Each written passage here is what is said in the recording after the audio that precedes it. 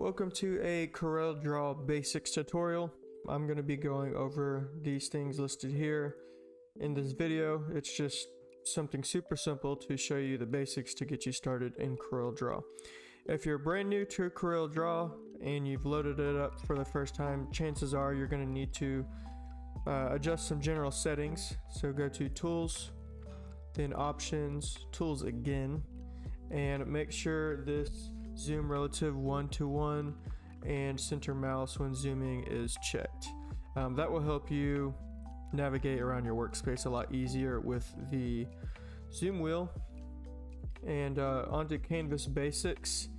Whatever project you're working on, you want to make sure that the units reflect the product that you're going to be designing. Okay, so if you're designing business cards, uh, you could go up here and change it to business cards and the canvas will change to three and a half by two. That's a standard business card. And you can change your units to millimeters if needed. I'm gonna go back to inches. Then you could also go to letter, eight and a half by 11. That's a simple piece of paper. Um, if you're working on signs, like a four by eight, you can go to feet and you could change your dimensions up here. So I'm going to show you how to save this. If we go to edit this list, we can go to feet 4x8. Everything's already set to what I had it originally and let's save. And then we could do a 4x8 right here. And if we press OK, um, now we have it in our template list up here, right there. And the top what is this? The top six are, are going to be your most recently used templates. Let me go back to t-shirt. So those are your canvas basics. Onto colors. If I left click a tile, it will change the fill color. If I right click, it will change the outline of the object that I have selected. Um, if I go to this little colorless tile right here with the red line through it. If I right click it takes away the color. Same thing with the left click and now I just have an invisible object. If you only have one color palette on your right hand side, chances are it's just a plain CMYK. Um, if you want to add RGB like these colors up here or Pantone colors, just go to Window, Color Palettes, palettes.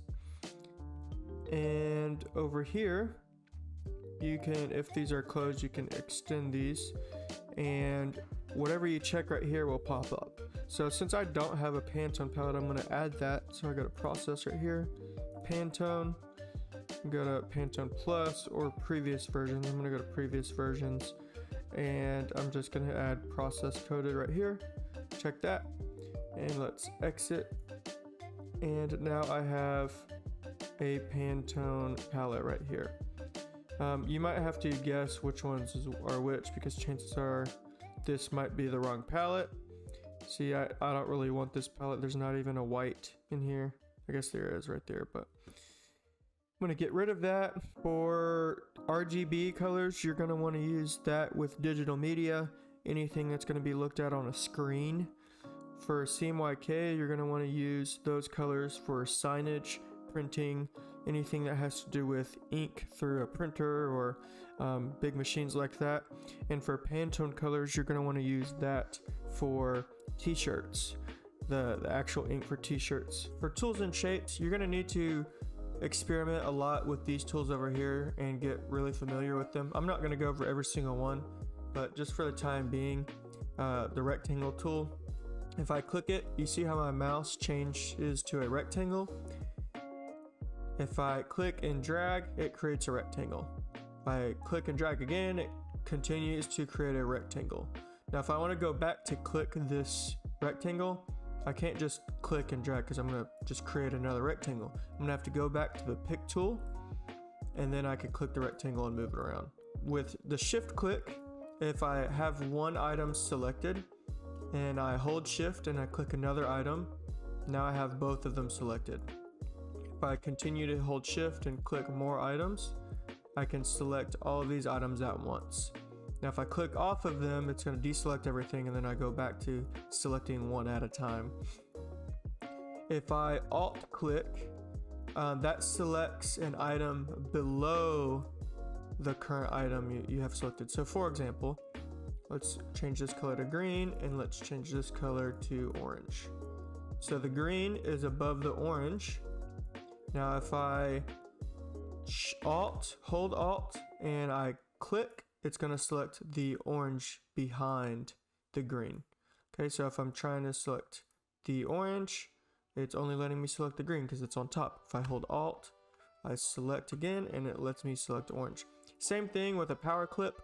If you have something power clipped within something else, so let's take this green, power clip inside, choose the orange. If I hold alt and click, I can edit the item within the power clip.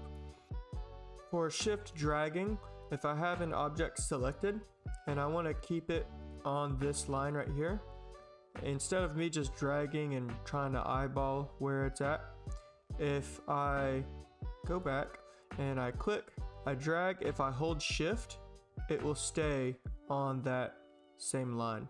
Same thing vertically, if I go up with it, it's gonna stay wherever it originally was um, on that same vertical axis and the same horizontal axis. Alright, different shortcuts that are to be very useful are C, E, P, L, R, and T. So if I press click an object, like for example this basics, it's grouped together. If I press P, it's gonna center horizontally and vertically to my canvas. Just like that.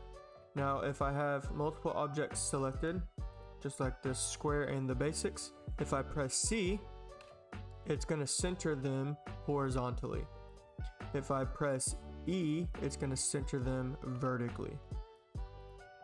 If I press T, it's going to bring uh, the objects to the very top of each other. If I press B, it's going to bring it to the bottom.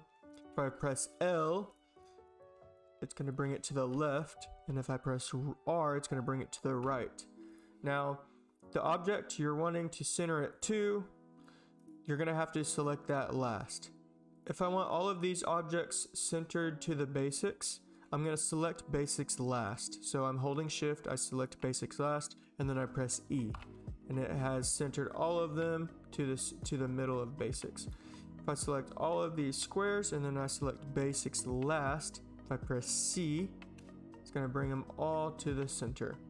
And if I press E again, it's going to group them all right here in the middle, just like that. For duplicating, if you have an object or a text that you want to duplicate, you click, drag, and you right click. And boom, it has it duplicated. You can do the same thing with multiple objects. So say I select both of these and I drag away. If I right click, then I let go, it's duplicated. And you can do this endlessly. For grouping, say I have a design that incorporates multiple objects and I want to be able to select all the objects at the same time without having to shift click or highlight everything together. Um, what I can do is I can group them together. So for example, if I click this, it only selects the basics. If I click this, it only selects the square. If I select both of them, and then if I right click and group together. Now whenever I select one, it selects both of them and I can move them around together. If I right click and I ungroup, it breaks them apart. Alright, and that's going to wrap up the basics of this video. If you enjoyed, be sure to give me a like and subscribe. Also, go check out the other tutorials I have. It goes more in depth with different skills and different tools within Corel Draw. And I appreciate you watching. Bye. Thank you.